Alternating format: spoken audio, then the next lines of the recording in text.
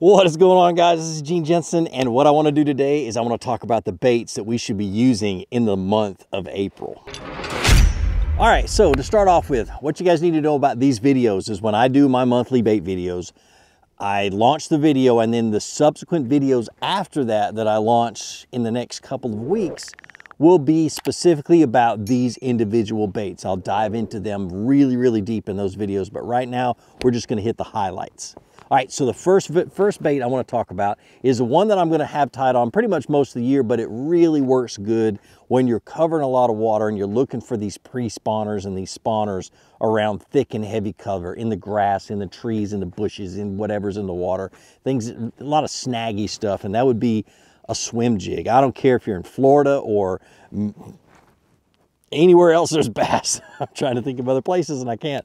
But a swim jig really does work. And what I'm going to lean towards is going to be a bluegill colored swim swim jig. Now this is a, uh, I think this is a Picasso or a 6th Sense. I can't remember. What I'm going to do is I'm going to leave a link down in the description of all these baits and all the rods and reels that I talk about. So you guys can go Tackle Warehouse and check them out. And if you buy them, uh, it's my affiliate link and I get a little bit of a cut. So just to be, to be upfront with everybody. So this one right here, I like to lean towards the bluegill colors because those are the most uh, aggravating uh, bait fish to a bass. Also, I'll throw a white on in some uh, some occasions, but somewhere between a bluegill and a white, sometimes a green pumpkin down in Florida. But I don't really get crazy about the colors. I just want something that's similar to a bluegill. Now, trailers. This trailer right here is one of my favorites. It's somewhere down here. We've got a bag of them. And what it is, it's the Shockwave from Missile Baits. They've got a 3.5 and they've got a 4 inch. And I use one or the other, but they're really, really good. And this color right here is really good for a bluegill color. But uh, just covering a lot of water and reeling fairly slow. And I, what I want to do is I want to bring it, I want to bust it through cover and let it fall a little bit. So I'm so I'm casting it out. But like I said, I'll get into that detail later. The rod and the reel that I'm going to use is going to be a heavy, fast action rod or a heavy, moderate action rod, but it's easier to find a fast action rod, and I'm really not that picky. Um, it's just all about getting fish out of the cover, so I tend to like a fast action rod or fast power or whatever you want to call it. But anyway, so this one right here, this is the 13 Fishing Meta. It's the one that uh, Gerald Swindle, there's his logo on the bottom. But uh, Gerald Swindle designed and it's also the reel, the Inception G2 reel. And this is an 8 3 to 1 reel, fat, heavy, fast, fast power rod, or heavy power, fast action rod, and um, and you're just going to cover a lot of water and and just you know cast it out, bring it through brush and stuff like that. The the line is going to be a 20 pound fluorocarbon or 55 pound braid, 50 to 60 pound braid. And uh, and it's just one of those it's a workhorse man. It really is. Just make sure you got a good beefy reel. Make sure you crank that that uh, drag down real good and uh, and cast it out and oh man they freaking annihilate. It's like throwing a spinner bait but not getting hung up nearly as much next one's gonna be one that I really fish a lot this time of the year from the time that it gets uh, 40 degrees all the way through the spawn and that's gonna be a lipless crankbait a good old school Rat-L-Trap um, either a shad color or like I said, a bluegill color. But I throw this around um, uh, just when I'm covering big, huge flats. And it's never a steady retrieve. It's always a really fast, really erratic retrieve. And, and you know, matter of fact, I've got a really good video about that. I may not make another video because this one's so good. And I'll link it right up here in the cards. But what I'm going to throw this on is a medium heavy, moderate action rod. 13 has a really good one that's that's made for, for uh, chatterbaits. And it's called, it was once called the chatter crank rod. Uh, it's in several different models. And basically it's a slightly heavier, medium, heavy, moderate rod. And it's really good for lipless crankbaits. This is the Envy Black, and uh, this is a Concept C. I throw it on a seven, uh, what is the gear ratio? Seven, five to one gear ratio reel. I don't like it as fast as like the swim jig and stuff like that.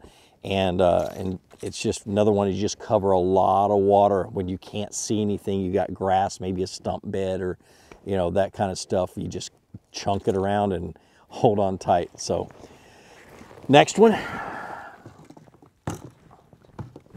Uh, next one's going to be another moving bait. We're going to get a little bit more in detail with this one.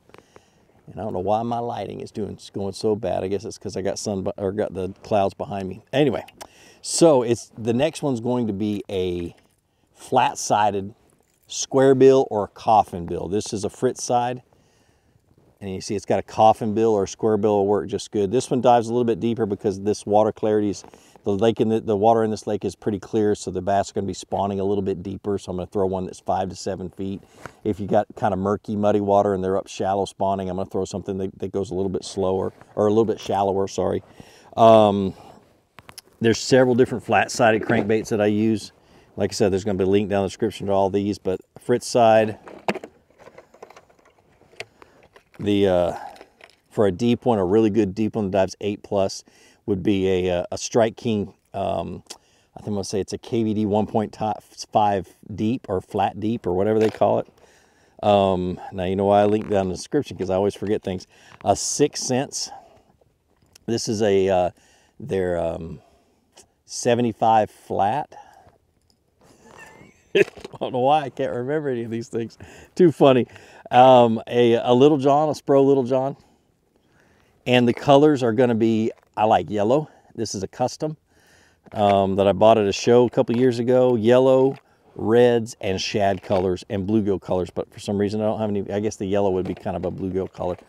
But, uh, and I'm, like I said, I'm just going to cover a lot of water, just work the bank. Another really good one that I don't have in my box is an old school Bomber Flat A. It is a pain in the butt to cast, but it's a really, really good pre-spawn flat-sided square bill um, or crankbait. It's not really a square bill, but, um, but yeah, I'll leave all those links down there. But anyway, so the rod I'm going to throw it on is again a me either a medium moderate action rod, or this one is another medium heavy uh, Envy. Just, you know, just my preference, but it's got to be a moderate rod or you tend to lose a lot of the fish. They tend to throw the hooks a lot easier when you have a stiff rod. So you need one that's not quite as stiff. Uh, 7 5 to 1 gear ratio reel or a 6 3 to 1 if you have a hard time slowing down. And I'm just going to cover the bank reeling super slow and, uh, and just keep covering water until I get bit.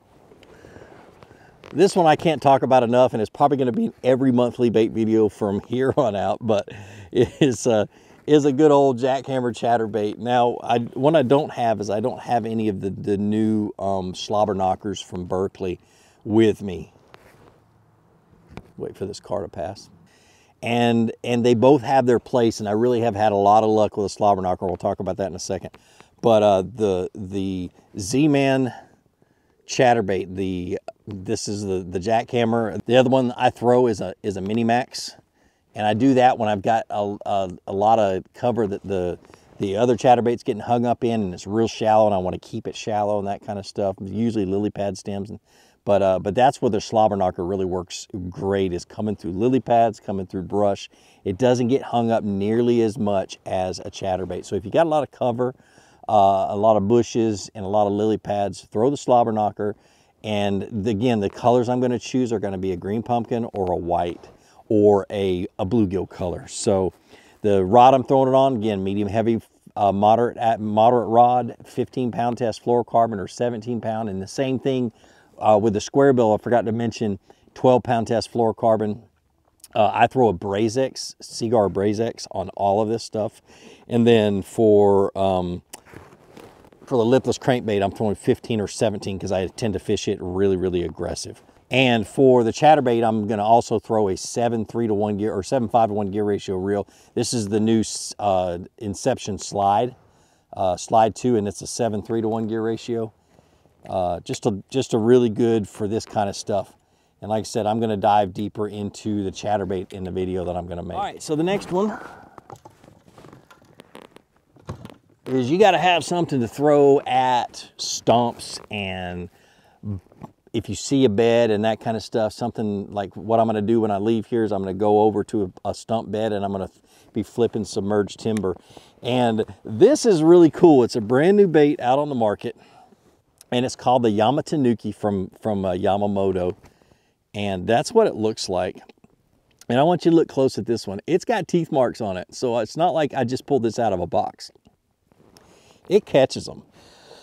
And it's really good when you get into this cover and you just, it, it, it's a weightless, I get, it's a weightless bait, but it acts like you a Texas rig when you, you're casting it.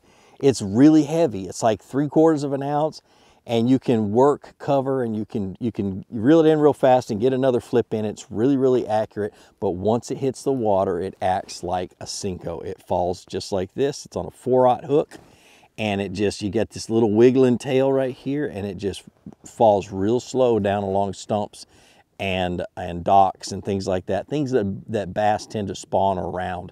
And so if I get into a stump flat, you're gonna see me flip it out, let it fall on a slack line and just watch that line all the way down. I'm gonna fish this on the same uh, rod that I'm gonna throw a jig on or any other good sized Texas rig. And this is a seven foot three, medium heavy. This is a Fate Black, only in like an $80 rod. Um, a, uh, a, a Z slide 13 fishing Z slide, high speed reel, eight three to ones, high, high speed reeled, and uh, and an EWG hook, 17, because I'm going to be jacking them really hard. I want 17 pound or 20 pound test fluorocarbon, and uh, and like I said, just cover, just as something to flip to cover where the bass is either going to be staging to pre-spawn or they're going to be spawning on. So a lot of fun to fish, and like I said, it's already got teeth marks. All right, so the next one. And the very last one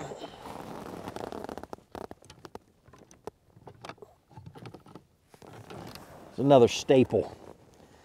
You got to have something for, for finesse. And what we got here is we got a shaky head. And that's what I'm to be, same thing as the, as the Yama Tanukis. I'm to be flipping it around cover and stuff like that. Um, but a lot more finessey. This one right here, this is a, uh, a Missile Baits uh, Warlock head. And it's quickly, not quickly, I've been using it for years, but it's become one of my favorite shaky heads. I tend to throw a straight tail worm on a shaky head, but this time of the year, you, it's not uncommon to see me throw a little baby uh, lizard on there, something that's got a little bit more tentacles and things like that, that the bass are a little bit more apt to, to go crazy over. But anyway, flipping it around, throwing it on a, a spinning rod, of course. Um, this is a, uh, this is a, a, new Axiom from 13, throwing on a medium, uh, medium fast action rod, seven foot four. I like a medium or a medium heavy. This is a this is a medium. Uh, 30 pound test braid to some fluorocarbon, usually 10 to 12 pound test fluorocarbon.